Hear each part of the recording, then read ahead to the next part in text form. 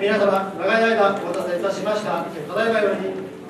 沖縄県祖国復帰41周年記念臨員会館学習会、沖縄県祖国復帰の真実、祖国防衛の取りで、沖縄問題の本質の探りを開始いたします。本日、司会を担当させていただきます、沖縄大学本部代表、中村悟と申します。よろしくお願いいたします。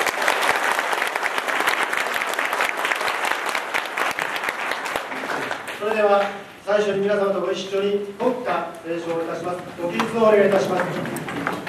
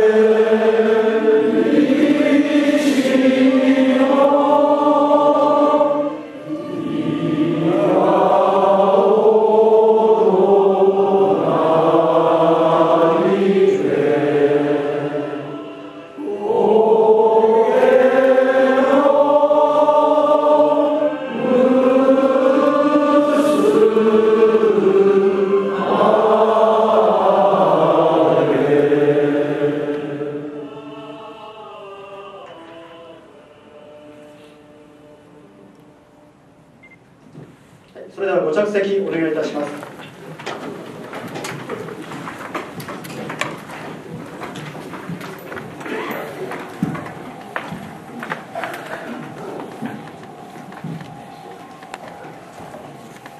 それでは開会の挨拶を春分アイデンティティ久留米ご一様にお願いいたします久留米様どうぞお願いいたします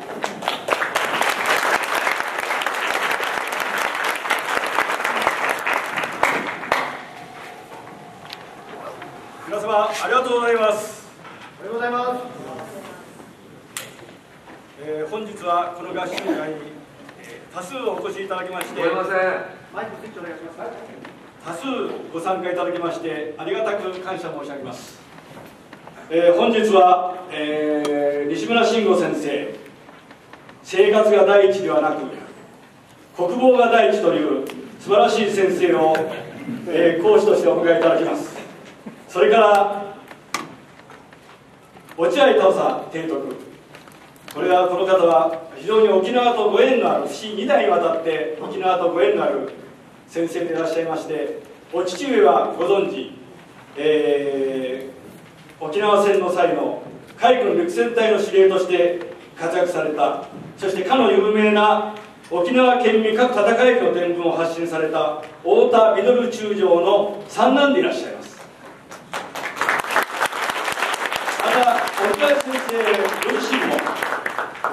若い時に沖縄の海上自衛隊基地にご勤務されました。で何よりも有名なのはあの湾岸派遣部隊の初めての海上自衛隊の海外派遣の時の総会隊の司令でおられました、まあ、その他本日はですね中村敏子先生沖縄の愛国運動の草分けでございまして本日この司会やっておられる佐藤君もそれからかのたくさんの息子さんたちもそれとお嬢様の婿さんたちも皆沖縄の愛国運動の中心人物になっておられます。素晴らしい。まああの最初注文がございます。本日私とのようにちょっとはげがったあるいはシルバーパワーの方々がたくさんおられるとおられますけれどもどうか次の集会にはこのとち子さんのように息子さんあるいはお嬢様の婿さんも含めて次回にはお連れいただきますようにお願い申し上げます。28日,、えー、28日都内でもって政府主催の試験回復記念集会をございました。安倍先生安倍総理は本日の一つの節目として国家の発展ということを訴えられました。しかし翌日29日の琉球新報には1万人が起点抗議。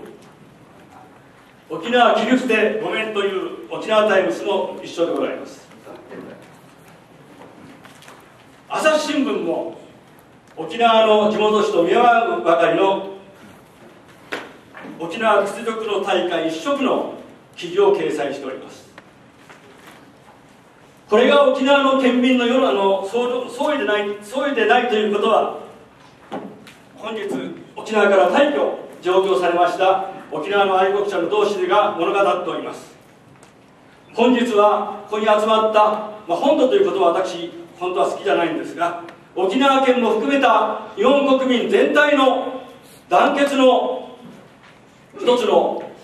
誓いの場といたしたいと思います。皆さんいかがでございましょうか。